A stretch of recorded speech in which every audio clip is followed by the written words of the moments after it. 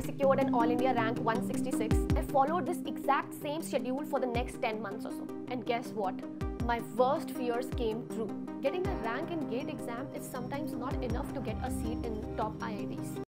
Hi guys, welcome to my channel. My name is Garima. I'm a software engineer at Google in London and today we will discuss about my GATE preparation journey in detail.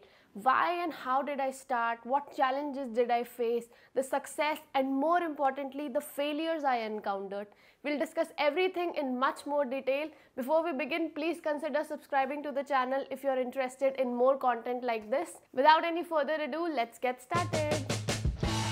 I was in my third year when I actually started thinking about what I'm going to do after BTech. The only thing I was sure of is I didn't want to start working. I had no interest in getting placed, and fortunately, I did not have any financial dependencies either. The only thing I knew is I wanted to study further. So I started exploring my options, and the first thing that, uh, that I came across was GRE. So I started preparing for GRE, which is a test that you take if you want to study abroad.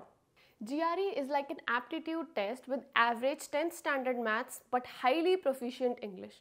I was confident about quantitative reasoning section so I directed all my attention towards verbal and analytical reasoning. However, I never really enjoyed the preparation. Memorizing a vocab of more than 1000 words and practicing reading comprehension was really boring for me. That's when I came across GATE an entrance exam for admission to postgraduate programs. Part of me really wanted to study at IITs, a dream that could not be fulfilled during bachelor's. So I decided to give it a shot. I did a lot of research online, checked out the syllabus, and then I concluded that I have three options. Number one, I prepare everything by myself by reading all the standard textbooks for each subject Number two, I take an online course by Ravindra Babu Ravula and prepare everything at my own pace, at my home. Number three, I join some offline classes at any coaching institute. I went with option three because I really enjoy the classroom environment. It brings the best out of me. So I decided to join Made Easy it was a weekend batch that I joined because I had to go to the college on weekdays and my classes commenced in February 2019 which was my pre-final year of BTech. As you may know, there are 10 computer science subjects that we need to prepare for and at Made Easy we were taught one subject at a time. The classes were really long like from 8 am to 6 pm so I couldn't get much done on weekends other than just going and attending all the classes and taking notes. I honestly loved attending the classes. The teachers were amazing and my interest in computer science peaked. I enjoyed studying all the core computer science subjects like algorithms, operating systems, DBMS, etc. And unlike GRE, I was actually enjoying my preparation for GATE. I learned so much that I was even able to crack an on-campus decent job solely on the basis of my GATE preparation. I never really practiced coding very much while I was preparing for GATE, but still I was able to get a job. Now, coming to my preparation strategy.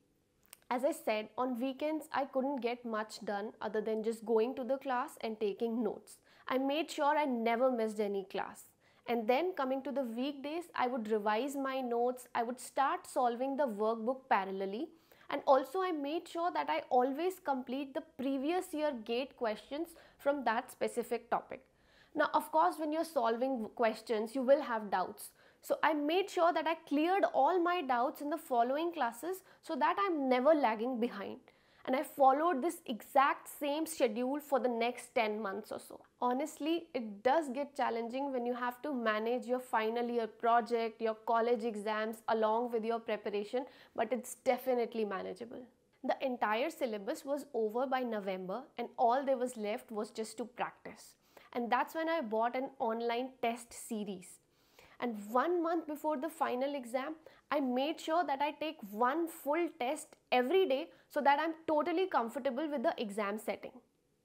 My dream was to get into IIT Bombay and I was scoring really well in the test so I was confident that I will make it. Anyway, the big day arrived in February 2022 and guess what?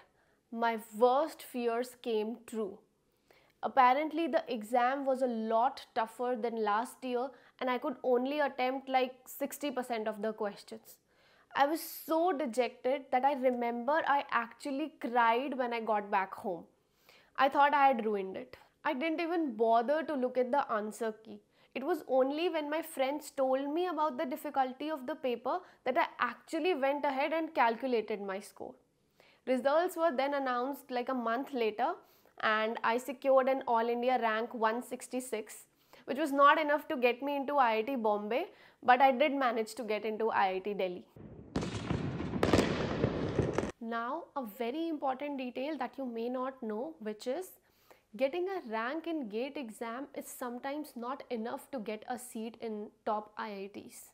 You may not know that IITs actually conduct additional set of tests, sometimes interviews, and then they offer you a seat based on your performance in the test and your gate rank.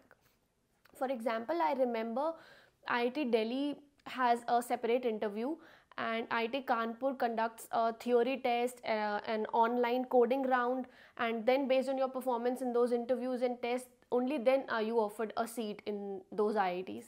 But uh, IITs like uh, IIT Bombay, IIT Guwahati, IIT Kharagpur, they just offer you seats solely on the basis of your gate rank. That's it. That was my entire experience. I hope you enjoyed the video. Please give it a thumbs up. Drop your thoughts in the comments and subscribe to my channel. I will see you in the next one. Bye.